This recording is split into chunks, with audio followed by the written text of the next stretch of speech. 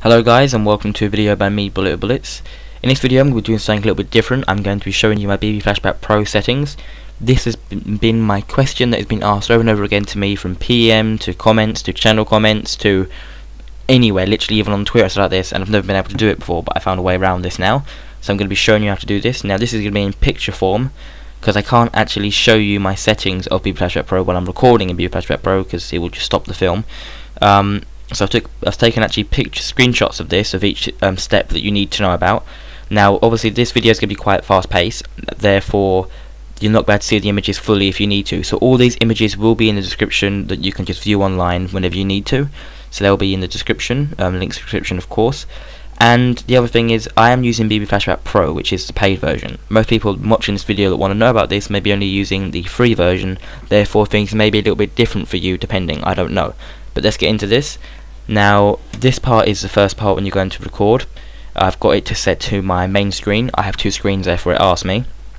I don't get to change the screen resolution. This is standard to switch off the Windows graphics effects, which is good for Windows 7 users, um, to keep my normal background and to disable the show window content while dragging option. That's the first part. The second step is to record sound. If you don't want to record your sound, you might as well just skip this part right now.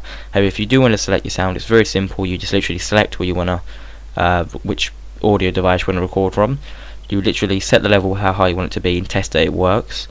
Um, I've got the format to 48k HZ. I've got the use MP3 compression on and it's very high quality.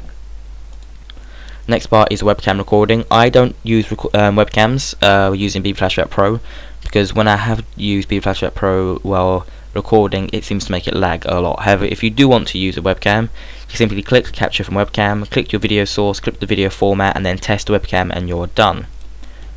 The next part is to record in general, obviously of course. I have the GDI to set on, uh, frames per second is 14. I have it to turn off hardware acceleration while recording.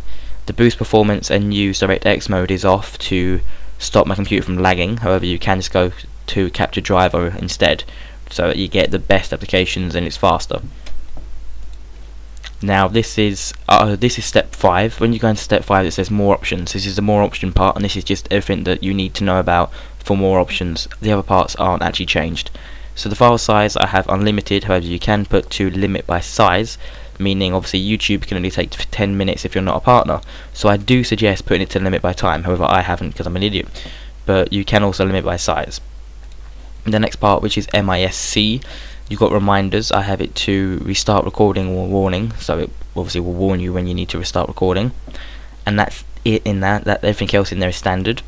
The advanced, everything's off except from sound recording threads get higher CPU priority. Everything else is standard in there. Now you click OK and go to the step 6 and I've got it to full screen and show record toolbar during record and if you want to get this down the bottom of your start menu you just literally click on this button here and then go to run in taskbar. Simple as that. Now this next part is after you actually want to export. So you finish that you've saved the movie you go into the editor and this is where that is that you're going to export and this is that. So that's not down here anymore that's the export this is the export part after the movie is actually done. Now I've got it to Windows Media Video. Simple as that. Sometimes I do use AVI but this one I haven't. Then I have this is all these sections. This is general. I have it to set to the whole movie rather than selected frames, otherwise it's not going to do the whole movie. I have the scale set to percent, the width is 100% and the height is 100%, otherwise it wouldn't record your whole screen. And keep aspect ratio. Next step, which is video, I have it to full frame rate, which is 14 FPS. Again, that's the standard. Video quality is Windows Media Video 9. The quality is 100%. Some reason it puts itself standard to 75 or 80 but I suggest put it to 100% the reason why I do it to 80 is so it takes up less time uh, to export. However I do suggest put it to 100% and 1 minus pass which I don't actually know what it means. Audio is export audio. If you didn't export if you didn't create audio with it no point in exporting sound. If you did obviously do. I have it to the Windows Media Audio 9.2 which comes with the media player. 44 KHZ stereo. Again 1 minus pass. And you can set to VBR which I haven't and the bitrate is 40 kbps next part which is auto scroll which is what everyone was waiting for. I have sometimes I do set this to auto scroll however in this video I won't be so you can see the whole thing because my mouse has been mouse has been yeah my mouse has been moving around a lot. I have this set to use auto scroll, mouse in center, and then I have the width to 640 and the height to 360. That means that it will cover from around here to around there-ish. It's just so you got a good set. That is it. That is all of my settings. After that, it will go back to the standard.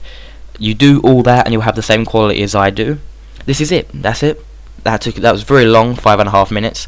If you want the images of all these, they'll be in the description in the order they were in this video that is it. If you like my videos, please go and subscribe. I hope you like this video as it was very, very wanted by me of this.